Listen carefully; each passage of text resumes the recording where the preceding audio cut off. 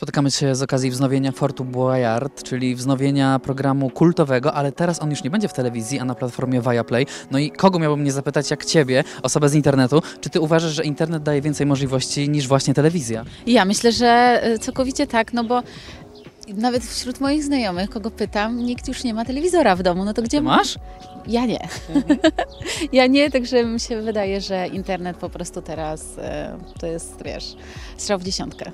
Jesteśmy, jesteśmy w, we Francji, dla wielu to jest wspaniała przygoda. Wierzę, że dla ciebie też, ale jednak jako dla mamy kilka dni bez e, melodyjki to może być jakieś wyzwanie. Długo cię trzeba było namawiać, żebyś wziął udział w tym programie? Nie, mnie nie trzeba było e, namawiać, zwłaszcza, że to jest totalnie e, program dla mnie. E, wyzwania, adrenalina, przygoda, konkurencje, to e, ja się tutaj totalnie odnajduję. Co cię zaskoczyło? Bo mam wrażenie, jak tutaj podsłuchiwałem innych uczestników, że z radością jechaliście, ale na miejscu okazało się, że to były naprawdę ogromne wyzwania. No były wyzwania, zwłaszcza ta, e, czy, czy Wojtek miał em, bungee, e, Migu miał e, taką Katapultę. Tak, e, także Trafiło tobie? E, Ja, ja miałam takie mniej akurat adventure e, konkurencje. Miałam wiszenie na drążku, jakieś takie odpo- o- odpowiadania z wiedzy ogólnej, które mnie troszeczkę zestresowały, ale czy tam em, lanie wody do takiej, do te- z dużej wysokości, to myślę, że dla nas wszystkich było takie ogromne przeżycie. A czy się udało, to się dowiemy jesienią na Viaplay. E, Obserwowałem ostatnio twoje Insta Stories i zauważyłem, że e, do melodii mówisz także Titi. Też pojawiło się tam pytanie internautów właśnie, czy Ania Skóra zmieniła imię córki, więc poznajmy prawdę. Jak ty śledzisz wszystko.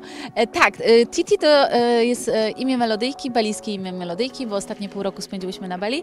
E, I ona sama się tak e, nazwała w przedszkolu e, na Bali, do którego chodziła, też wszyscy na nią mówili Titi. No i łatwiej na razie mówić Titi niż Melody.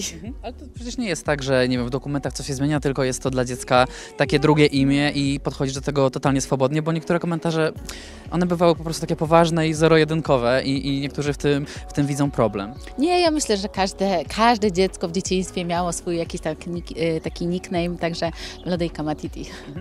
W wywiadzie dla Wiwy kilka tygodni temu powiedziałaś taką piękną rzecz, z którą się zresztą zgadzam, że czasami e, dobrze nie tkwić w związku, który po prostu nie daje nam tego, co powinien dawać perfekcyjny związek, bo jeszcze tyle na nas dobrego czeka, jeżeli tamta praca nad związkiem nic, nic nie dawała. Ja też się z tym zgadzam, tylko tak się zastanawiam, że łatwo jest to powiedzieć, ale czy nie jest to bardzo trudno zrobić? Oczywiście, że to jest ogrom pracy do wykonania, bo raczej nikomu nie przychodzi to samo tak z siebie. E, Jak o tym pomyślimy dłużej, właśnie ile nas jeszcze czeka i że to nie jest porażka, tylko e, to jest w jakiś sposób zaczęcie nowego życia, e, no, takiego nowego rozdziału, no to myślę, że warto, zawsze warto iść za głosem po prostu swojego serca. Żeby zacząć ten nowy rozdział, trzeba stary zamknąć. I w jakim ty teraz jesteś momencie życia? Czy to jest wyciszenie, czy to jest otwarcie na coś nowego? Ja już jakby stary rozdział zamknęłam i teraz jestem otwarta po prostu na to, co e, życie przyniesie.